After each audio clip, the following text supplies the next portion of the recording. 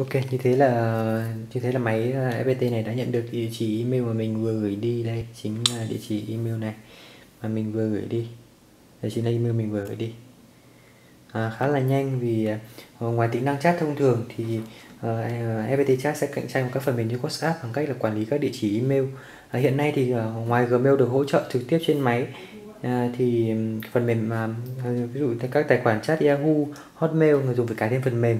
Trong khi đấy thì FPT chat đã bao gồm cả các tính năng này cũng sẽ là một cái lợi thế à, cạnh tranh khá tốt. À, đặc biệt là các cái tính năng này khi xuất hiện trên trong dòng máy giá rẻ như trong dòng máy giá rẻ um, thì càng có lợi lợi điểm hơn. Để mình có thể cũng có thể thêm tài khoản email. À, theo nhà sản xuất thì à, người dùng có thể quản lý tới 5 tài khoản email cùng một lúc. Đây có Gmail, Hotmail, Yahoo và FPT rất là tiện lợi trong khi đấy các phần mềm chat thì cũng à, tốc độ rất là nhanh.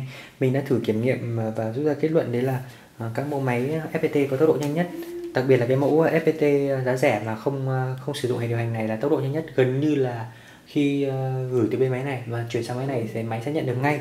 Trong khi các máy này sẽ chậm hơn một chút nhưng cũng vẫn là rất nhanh. Và tốc độ máy các máy các máy ăn chạy Android ngoài không phải FPT thì có thể chậm hơn một chút nữa.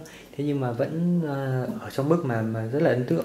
À, đặc biệt là mình nếu mà thử chung với phần mềm WhatsApp có thể đây là mình đây là phần mềm FPT chat WhatsApp tốc độ của nó cũng rất là nhanh nhưng mà thực sự là không thể tốt bằng uh, uh, theo mình cả thử thực tế đây thì WhatsApp tốc độ cũng chỉ tương đương với FPT chat thôi.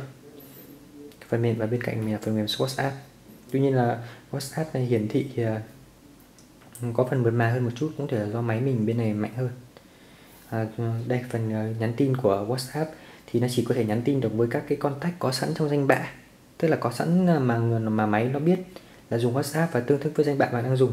Trong khi đấy phần mềm FPT chat có thể sử dụng với các số không thuộc trong danh bạ của bạn. Đây ví dụ bạn có thể tạo một uh, tin nhắn mới gửi đến một số ví dụ như là bạn mới biết một người nào đấy dùng FPT chat nhưng mà người đấy lại chưa có trong danh bạ của bạn bạn vẫn có thể nhắn tin đến cái số đấy số điện thoại của họ và họ vẫn nhận được phần mềm FPT chat.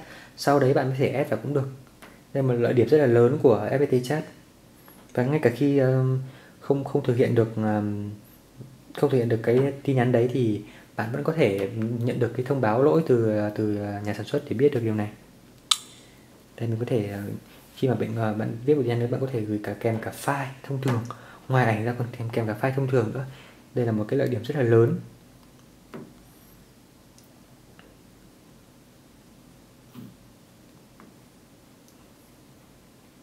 Đây, mình MT chat đây. Cảm ơn các bạn nhiều.